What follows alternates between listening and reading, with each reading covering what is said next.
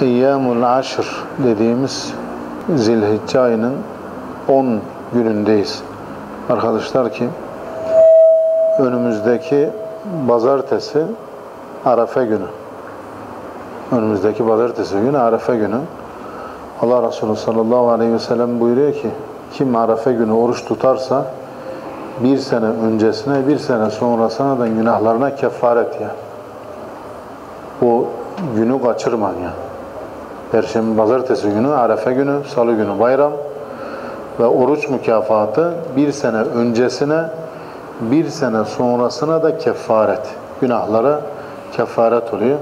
Onun için akşam olduğu zaman bir daha bulamazsın. Seneye gelici de ölmezsek çıkacak da bir daha o fırsat ele geçici yani. Onun için değerlendirmeye gayret edin arkadaşlar. Tabi pazartesi mübarek bir gece ama Arefe gecesi ama aynı zamanda ne ertesi günü Kurban Bayramı. Şimdiden bayramınız mübarek olsun. Kurbanla ilgili birkaç şeyi hangi hayvanlar kurban olur, neler kurban olmaz onlarla ilgili birkaç bir şey anlatacak inşallah.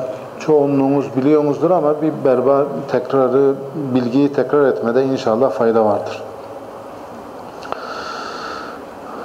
Kurban arkadaşlar, kurban nedir sorusuna sorulursa muayyen bir vakitte muayyen bir vakitte. Yani kurban bayramının bayram namazından sonra bayramın birinci, ikinci ve üçüncü günleri muayyen bir hayvanı Allah-u Teala'nın kesilmesini emretmiş olduğu işte keçi, koyun, deve, sığır bu tür hayvanların kesilmesini emretmiş olduğu hayvanları ibadet niyetiyle kesmeye kurban denir. Muayyen vakitlerde yani bayramın birinci, ikinci, üçüncü günü Allah alem bildiğim kadarıyla Şafilerde dördüncü günde var. Ee, ve belirli Allah-u Teala'nın muayyen kıldığı, Peygamber Efendimiz sallallahu aleyhi hadislerde muayyen kıldığı hayvanlar kurban niyetiyle, ibadet niyetiyle yani et niyetiyle değil de ya acaba komşu görürse, kesmezse ayıp olur niyetiyle değil, sadece ve sadece Allah için kan ağıtmak niyetiyle kesilen hayvana kurban denir. Kurban ibadeti ta Adem Aleyhisselam'dan İbrahim Aleyhisselam ve bizim günümüze kadar hep kitap ve sünnette geçmiş. Mesela Adem Aleyhisselam'ın çocukları arasında Allahu Teala buyuruyor ki: "Vetlu aleyhim nebe ebney Adem bil hak qarraba qurbanan fetuqbila min ahadihima ve lem yutaqabbal min el-ahir."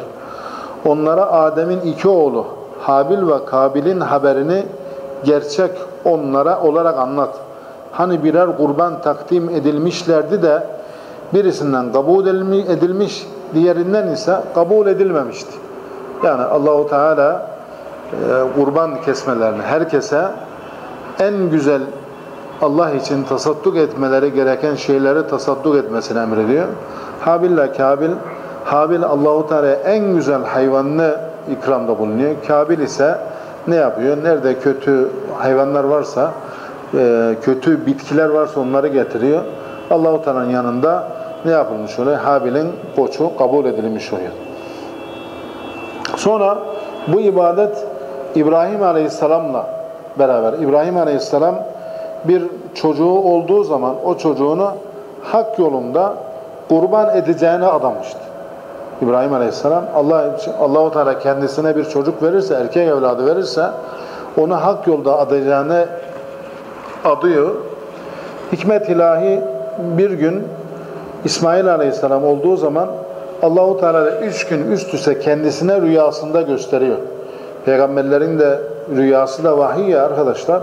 Üç gün üst üste rüyasında gördüğü zaman o zaman İbrahim Aleyhisselam ne diyor? Artık demek ki bu hak kurban etmemiz gerekir. Kimi? İsmail Aleyhisselam'ı. Allahu Teala ayet-i kerimede فَلَمَّا بَلَغَ مَعَهُ السَّعْيَ قَالَ يَا بُنَيَّ إِنِّي أَرَى فِي الْمَنَامِ أَنِّي أَذْبَحُكَ فَانْظُرْ مَاذَا تَرَى قَالَ يَا أَبَتِ افْعَلْ مَا تُؤْمَرْ سَتَجِدُنِي إِنْ شَاءَ اللّٰهُ مِنَ الصَّابِرِينَ Hz. İsmail Aleyhisselam babası Hz. İbrahim ile beraber yürü, yürüyüp gezecek çağa gelince yani İbrahim Aleyhisselam artık oynama çağına gelince oğulcağızım, yavrucuğum Ben seni rüyamda boğazladığımı görüyorum. Bak artık bir düşün ne dersin. İsmail Aleyhisselam'ın teslimiyeti arkadaşlar.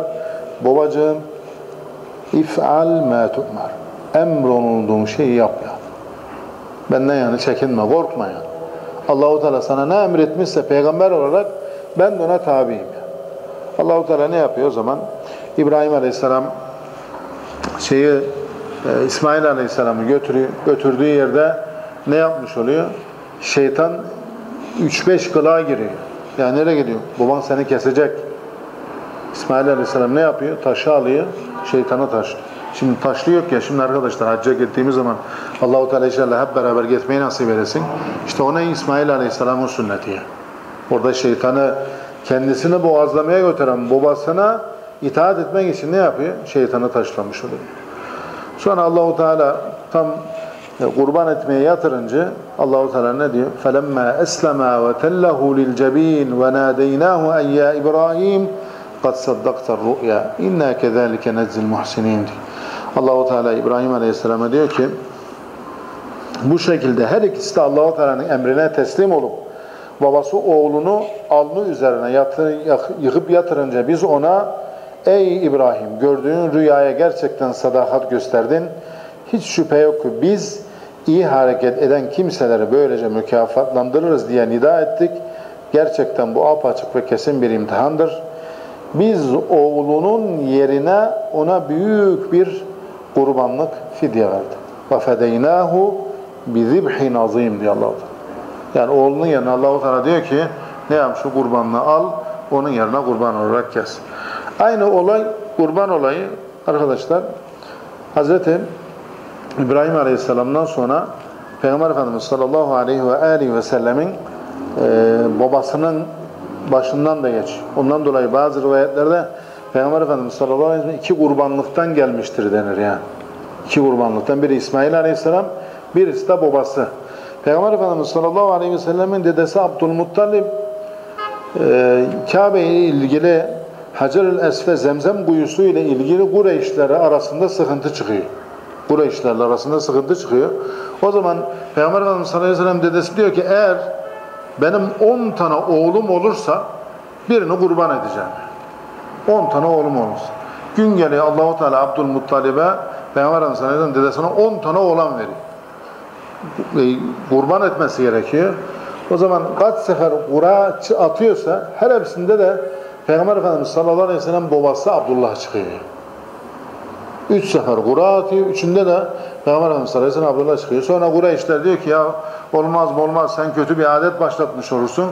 Bunun yerine abi sana 100 tane deve verek sen 100 tane deveyi Allah için kurban et deyince o da o kurban etmeden vazgeçmiş oluyor. Böylece kurban ta Adem Aleyhisselam'dan, İbrahim Aleyhisselam'dan, Peygamber Efendimiz sallallahu aleyhi ve sellem babasından belli kitaplarda ve sünnetlerde gelmiş olan bir ibadet. Kur'an-ı Kerim'de kaynağı neyse arkadaşlar Estaizu billah Allahu Teala ne diyor? Fasalli li rabbike venher. Rabbin için namaz kıl ve kurban kes.